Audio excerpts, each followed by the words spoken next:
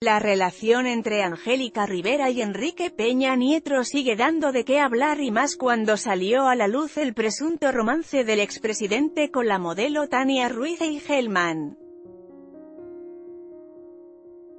Otro de los involucrados que hasta ahora se había mantenido al margen es el ex esposo de La Gaviota, Alberto, el Güero. Castro, quien fue invitado al programa La Saga, de Adela Micha, a quien confesó si era verdad lo del supuesto contrato entre Peña y Angélica. De acuerdo con Soy Carmín, tras ventilarse el triángulo amoroso de la expareja presidencial y la modelo, comenzaron a especular que el matrimonio entre La Gaviota y Peña Nieto había sido una simulación para que el candidato ganara votos y que por ello habían contratado a la actriz durante seis años para ser la primera dama. El rumor inició desde que Peña Nieto se encontraba en campaña para ganar la presidencia de México, pero nunca se confirmó, y pronto se olvidó. Sin embargo, justo después de terminar el mandato de Peña el rumor revivió, pues casualmente ocurrieron situaciones sospechosas, como la desaparición de Angélica Rivera, la falta de argolla matrimonial de Peña Nieto, y las fotos de este último con una joven de 31 años, de nombre Tania Ruiz.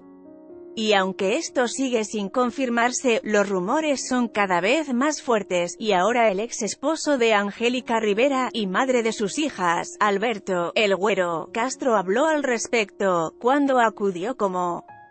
Invitado al programa de Adela Micha, La Saga, la periodista no perdió la oportunidad de cuestionar al productor sobre la veracidad del supuesto contrato, a lo que contestó, firmó un contrato Angélica para casarse con Peña, no creo. No lo sé, no creo, bueno, la han de haber dejado bien.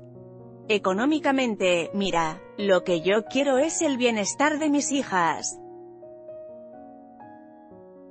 Mal haría yo en hablar algo que no sé y que, aparte, no es mi materia de mi vida personal. Sufriste cuando terminé me dolió, es la mamá de mis hijas, fue una pareja que quise mucho, es una mujer que la verdad quise mucho, reconoció.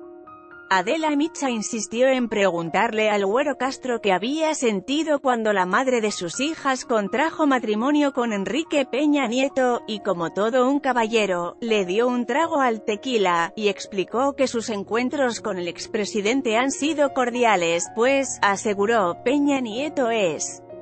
una persona respetable y amable, si alguien tiene un cargo y yo soy ciudadano de este país tengo que hablarle con el respeto que yo espero él tenga para manejar esta institución, siempre le voy a agradecer que le dio el mismo lugar a mis hijas, que a sus hijas, finalizo con acento agudo. NL.